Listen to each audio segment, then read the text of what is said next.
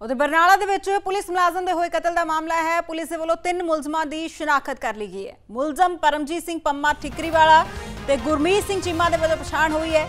ਕਮਾਂਤਰੀ ਕਬੱਡੀ ਖਿਡਾਰੀ ਜਗਰਾਜ ਸਿੰਘ ਰਾਜਾ ਰਾਇਸਰ ਦਾ ਨਾਮ ਵੀ ਸ਼ਾਮਲ ਹੈ।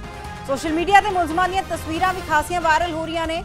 ਇਹ ਦੱਸਦੀ ਹੈ ਕਿ ਬੀਤੇ ਦਿਨ ਹੀ ਕਬੱਡੀ ਖਿਡਾਰੀਆਂ ਦੇ ਵੱਲੋਂ ਪੁਲਿਸ ਮੁਲਾਜ਼ਮ ਦਾ ਕੁੱਟ-ਕੁੱਟ ਕੇ ਕਤਲ ਕਰ ਦਿੱਤਾ ਗਿਆ ਸੀ, ਜਿਸ ਤੋਂ ਬਾਅਦ ਹੁਣ ਮੁਲਜ਼ਮਾਂ ਦੀ ਪਛਾਣ ਜੋ ਹੈ ਹੋ ਚੁੱਕੀ ਹੈ, ਸ਼ਨਾਖਤ ਕਰ ਲਈ ਗਈ ਹੈ। ਬਰਨਾਲਾ ਦੇ ਵਿੱਚ ਪੁਲਿਸ ਮੁਲਾਜ਼ਮ ਦੇ ਹੋਏ ਇਸ ਕਤਲ ਮਾਮਲੇ 'ਚ ਇਹ ਵੱਡਾ ਅਪਡੇਟ ਨਿਕਲ ਕੇ ਸਾਹਮਣੇ ਆਇਆ ਹੈ ਕਿ ਪੁਲਿਸ ਨੇ ਤਿੰਨ ਮੁਲਜ਼ਮਾਂ ਦੀ ਸ਼ਨਾਖਤ ਕਰ ਲਈ ਹੈ, ਜਿਸ 'ਚ ਮੁਲਜ਼ਮ ਪਰਮਜੀਤ ਸਿੰਘ, ਪੰਮਾ ਠਿਕਰੀ ਵਾਲਾ, ਗੁਰਮੀਤ ਸਿੰਘ ਚੀਮਾ, ਦੂਜੇ ਪਾਸੇ ਜਗਰਾਜ ਸਿੰਘ, ਰਾਜਾ ਰਾਏਸਰ ਦਾ ਨਾਂ ਸ਼ਾਮਲ ਹੈ। ਤਾਂ ਇਹ ਉਹ ਤਿੰਨ ਨਾਂ ਨੇ ਜੋ ਕਿ ਸਾਹਮਣੇ ਆਏ ਨੇ। ਹਾਲਾਂਕਿ ਪਰਿਵਾਰ ਦਾ ਇੱਥੇ ਰੋ ਰੋ ਬੁਰਾ ਹਾਲ ਹੈ। ਤਸਵੀਰਾਂ ਤੋਂ ਤੁਸੀਂ ਦੇਖ ਪਾ ਰਹੇ ਹੋ ਕਿ ਸੋਸ਼ਲ ਮੀਡੀਆ ਤੇ ਵੀ ਮੁਲਜ਼ਮਾਂ ਦੀਆਂ ਤਸਵੀਰਾਂ ਵਾਇਰਲ ਹੋ ਰਹੀਆਂ ਨੇ।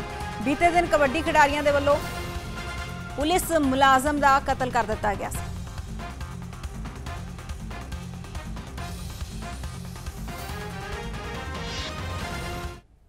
ਉਹ ਖਿਡਾਰੀ ਹੈ ਜੀ ਉਹ ਮੁੰਡੇ।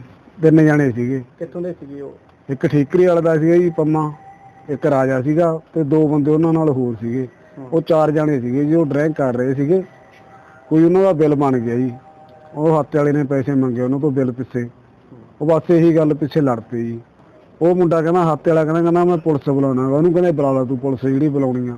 ਹੂੰ ਉਸ ਤੋਂ ਬਾਅਦ ਉਹਨੇ ਜਦੋਂ ਇਹਨਾਂ ਨੂੰ ਫੋਨ ਕੀਤਾ ਜੀ ਪੀਸੀਆਰ ਵਾਲਿਆਂ ਨੂੰ ਹੂੰ ਇੱਧਰ ਤੇ ਉਹ ਆ ਗਏ ਜੀ ਇੱਧਰ। ਆ ਕੇ ਜਦੋਂ ਪੀਸੀਆਰ ਵਾਲੇ ਇਹਨਾਂ ਨੂੰ ਸਮਝਾਉਣ ਲੱਗੇ ਵੀ ਬਈ ਇਹ ਲੜਾਈ ਝਗੜਾ ਨਾ ਕਰੋ। ਉਹਦੀ ਪੀਸੀਆਰ ਵਾਲਿਆਂ ਦੀ ਉਹਨਾਂ ਨੇ ਕੋਈ ਗੱਲ ਨਹੀਂ ਮੰਨੀ। ਜਿਹੜਾ ਭਾਊ ਭਾਊ ਆ ਜਿਹੜਾ ਗੱਡੀ ਵਾਲਾ। ਉਹ ਬੰਦਾ ਉਹਨੂੰ ਲੈਣ ਗਿਆ ਜੀ ਵੀ ਤੂੰ ਆ ਜਾ ਵੀ ਗੱਡੀ 'ਚ ਤੁਹਾਡਾ ਫੈਸਲਾ ਕਰਾ ਦਿੰਨੇ ਆ। ਉਹ ਬੰਦੇ ਨਹੀਂ ਜੀ ਠੀਕਰੀ ਵਾਲਾ ਦਾ ਬੰਦਾ ਸੀ ਕਿ ਪੰਮਾ ਪੰਮਾ। ਉਹਨੇ ਉਹ ਪੁਲਿਸ ਮੁਲਾਜ਼ਮ ਨਾਲ ਧੱਕਾ ਕਰ ਲਿਆ ਜੀ ਉਹਨੂੰ ਫੜ ਕੇ ਸੱਟ ਲਿਆ। ਉੱਥੇ ਉੱਤੇ ਸੀਗੀ ਪੱਕੀ ਜਗ੍ਹਾ ਉਹਦਾ ਸਿਰ ਵੱਜਿਆ ਬੰਦੇ ਦਾ। ਕਿਹੜਾ ਪੁਲਿਸ ਮੁਲਾਜ਼ਮ? ਪੁਲਿਸ ਮੁਲਾਜ਼ਮ ਦਾ ਜੀ ਉਹਨੂੰ ਫਿਰ ਅਸੀਂ ਗੱਡੀ 'ਚ ਚੱਕ ਕੇ ਪਾਇਆ। ਆਹ ਘਟਨਾ ਵਾਪਰ ਗਈ। ਪੁਲਿਸ ਦਾ ਡਰ ਨਹੀਂ ਨਾ ਲੋਕਾਂ ਨੂੰ ਜੀ। ਪੁਲਿਸ ਮੁਲਾਜ਼ਮ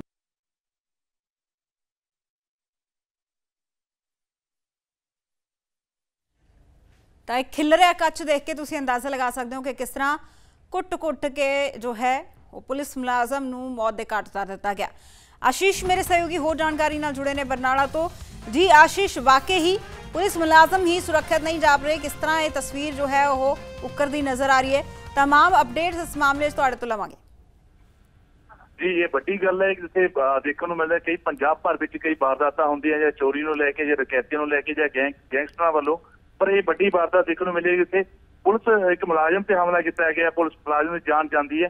ਉਸ ਨੂੰ ਲੈ ਕੇ ਇਸ ਇਸ ਨੂੰ ਲੈ ਕੇ ਸਾਰੇ ਪੂਰੇ ਪੰਜਾਬ ਭਰ ਜਿੱਥੇ ਇੱਕ ਚਿੰਤਾ ਦਾ ਵਿਸ਼ਾ ਬਣਿਆ। ਉੱਥੇ ਇਹ ਇੱਕ ਪੁਲਿਸ ਮੁਲਾਜ਼ਮ ਦੀ ਮੌਤ ਨੂੰ ਲੈ ਕੇ ਸਾਰੀ ਹਲਚਲ ਅਹ, ਪੈਦਾ ਹੈ ਕਿਉਂਕਿ ਲੋਕਾਂ 'ਚ ਵੀ ਇੱਕ ਸੁਰੱਖਿਆ ਨੂੰ ਲੈ ਕੇ ਸਵਾਲ ਖੜਾ ਹੁੰਦਾ ਹੈ ਕਿਉਂਕਿ ਪੁਲਿਸ ਦੀ ਸੁਰੱਖਿਆ ਨੂੰ ਲੈ ਕੇ ਜਿਵੇਂ ਪੁਲਿਸ ਮੁਲਾਜ਼ਮ ਨੂੰ ਕੁੱਟ ਕੇ ਮਾਰ ਦਿੱਤਾ ਗਿਆ ਤੇ ਲੋਕਾਂ ਨੂੰ ਇਹ ਹੁੰਦਾ ਕਿ ਸਾਡੇ ਤੇ ਸਾਨੂੰ ਕੱਲ ਕੌਣ ਸੁਰੱਖਿਆ ਦੇਊਗਾ? ਪਰ ਦੱਸਣ ਦੱਸਣਾ ਚਾਹਾਂਗੇ ਕਿ ਇਹ ਜਿਹੜੇ ਚਾਰ ਬਨਾਲਾ ਪੁਲਿਸ ਨੇ ਚਾਰ ਜਿਹੜੇ ਮੁਲਜ਼ਮ ਨੇ ਉਹਨਾਂ ਦੇ 22 ਨੇ ਪਰਚਾ ਦਰਜ ਕੀਤਾ ਗਿਆ ਇਹਦੇ 302 ਦਾ ਤੇ ਬਾਕੀ ਅਣਪਛਾਤੇ ਨੇ। ਚਾਰ ਜਿਹੜੇ ਮੁਲਜ਼ਮ ਨੇ ਉਹਨਾਂ ਚੋਂ ਤਿੰਨ ਕਬੱਡੀ ਖਿਡਾਰੀ ਨੇ ਨਾਮੀ ਖਿਡਾਰੀ ਨੇ ਤੇ ਉਹਨਾਂ ਦੀ ਫੋਟੋਆਂ ਵੀ ਸੋਸ਼ਲ ਮੀਡੀਆ ਤੇ ਵਾਇਰਲ ਹੋ ਰਹੀਆਂ ਜਿਹੜੀਆਂ ਦੇਖਣ ਨੂੰ ਮਿਲ ਰਹੀਆਂ ਤੇ ਅਹ, ਇਸ ਨੂੰ ਲੈ ਕੇ ਵੱਡੀ ਗੱਲ ਹੈ ਕਿ ਪੰਜਾਬ ਦੇ ਮੁੱਖ ਮੰਤਰੀ ਭਗਵੰਤ ਮਾਨ ਵੱਲੋਂ ਵੀ 1 ਕਰੋੜ ਦੀ ਰਾਸ਼ੀ ਜਾਰੀ ਕੀਤੀ ਗਈ ਹੈ।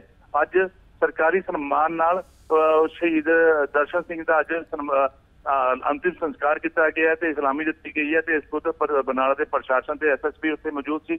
ਬਾਕੀ ਵੀ ਪੁਲਿਸ ਕਰਮਚਾਰੀਆਂ ਨੂੰ ਅੱਜ ਇ- ਇਸ ਦਾ ਦੁੱਖ ਦੇਖਣ ਨੂੰ ਮਿਲ ਰਿਹਾ ਹੈ ਕਿ ਸਾਰੇ ਦੁੱਖ ਦੁੱਖ ਵਿੱਚ ਕਿਹੜੀ ਸਾਰੇ ਨਾਲ ਖੜੇ ਨੇ, ਪਰ ਲੋਕਾਂ 'ਚ ਇੱਕ ਗੁੱਸਾ ਹੈ ਕਿ ਇਹ ਇਹ ਜਿਹੜੀ ਵਾਰਦਾਤਾਂ ਵੱਧ ਰਹੀ ਹੈ ਇਸ ਨੂੰ ਕਿਸ ਤਰ੍ਹਾਂ ਰੋਕਿਆ ਜਾ ਸਕੇ? ਜੀ ਬੇहद ਸ਼ੁਕਰੀਆ ਆਸ਼ੀਸ਼ तमाम ਜਾਣਕਾਰੀ ਲਈ ਸੋ ਵਾਕਈ ਹੀ।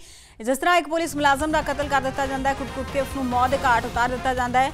ਆਪਣੇ ਆਪ 'ਚ ਸੁਰੱਖਿਆ ਦੇ ਲਿਹਾਜ਼ ਦੇ ਨਾਲ ਲੋਕਾਂ ਦੇ ਜ਼ਿਹਨ ਦੇ ਵਿੱਚ ਕਈ ਸਵਾਲ ਵੀ ਉੱਠਦੇ ਨਜ਼ਰ ਆ ਰਹੇ ਨੇ ਕਿ ਜੇਕਰ ਪੁਲਿਸ ਮੁਲਾਜ਼ਮ ਹੀ ਸੁਰੱਖਿਅਤ ਨਹੀਂ, ਤਾਂ ਫਿਰ ਸੁਰੱਖਿਅਤ ਕੌਣ?